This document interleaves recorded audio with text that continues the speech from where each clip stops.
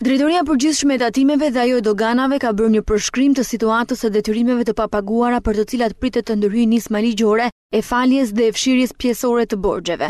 Borxhi total vetëm nga tatimet dhe doganat është njëqind e shtatëdhjetë e dy pikë pesëdhjetë miliardë lekë deri në tridhjetë e një dhjetor dy mijë e gjashtëmbëdhjetë. Borxhi i akumuluar nga nëntëdhjetë e gjashta deri në tridhjetë e një dhjetor Dy mijë e gjashtëmbëdhjetë është njëqind e dyzet e shtatë pikë shtatë miliardë lekë. Nga doganat janë akumuluar nga viti dy mijë deri në tridhjetë e një dhjetor dy mijë e gjashtëmbëdhjetë, njëzet e katër pikë tetë miliardë lekë. Në draftin e Qeverisë për faljet ku parashikohet të fshihen nëntëdhjetë pikë nëntëdhjetë e shtatë miliardë lekë detyrime fiskale, njëzet e nëntë pikë pesëdhjetë e dy prej tyre fshihen pa kusht, ndërsa gjashtëdhjetë e një pikë dyzet e pesë prej tyre, gjoba dhe kamatëvonesa, janë detyrime që fshihen me kusht. ndërsa principal për t'u paguar janë tridhjetë e katër pikë nëntëdhjetë e gjashtë miliardë lekë. Projektligji parashikon se nga tatimet do të fshihen pesëdhjetë e tre miliardë lekë, ndërsa nga doganat tetë pikë njëzet e pesë miliardë lekë. Detyrimet TVSH-je për t'u fshirë sipas këtij drafti janë një pikë njëzet e tetë miliardë lekë në vite. Bëhet fjalë për detyrime të papaguara ose të shtyra të TVSH-së për makineri dhe pajisjet, importi i të cilave është përjashtuar nga tatimi mbi vlerën e shtuar. Vlera e taksave që propozohet të fshihet pas çregjistrimit të mjeteve llogaritet në pesë pikë tre miliardë lekë.